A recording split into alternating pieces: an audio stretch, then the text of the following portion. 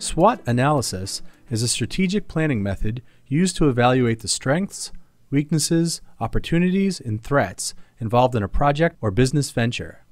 A SWOT diagram helps to identify the objectives of a project or business and illustrates the factors that are favorable and unfavorable to achieve those objectives.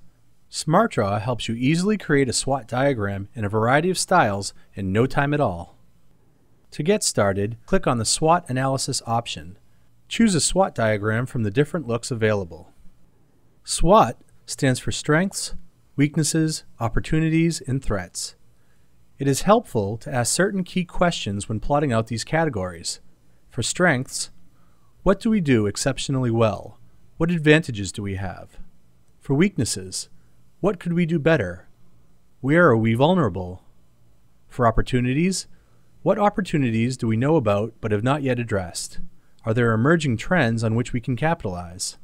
For threats, are weaknesses likely to make us vulnerable? What external roadblocks exist that block our progress? These are just a few of the types of questions that can help you analyze your business venture. Let's create a business plan for an existing company as an example.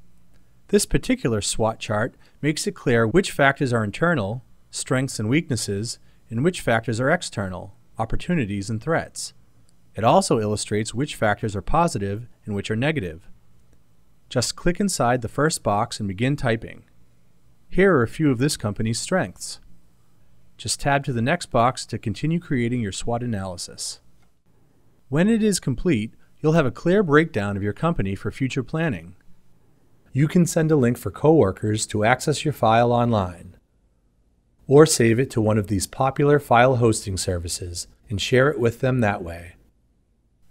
There are many more ways that SmartDraw can help you visually map out your projects and business ventures using SWOT analysis. It's easy for anyone to do, and it always looks great with SmartDraw.